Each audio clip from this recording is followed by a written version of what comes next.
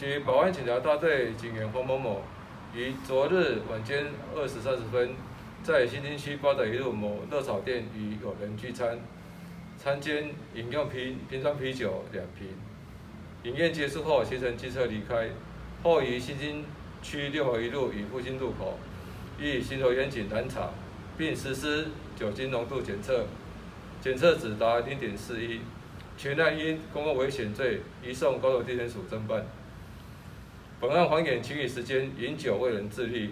发生违法违纪案件。本大队从严对还原稽查过惩处，调整服务地区，并追究相关考核监督不周人员责任，另将黄远列为酒驾记录管制人员及教育辅导对象，加强考核。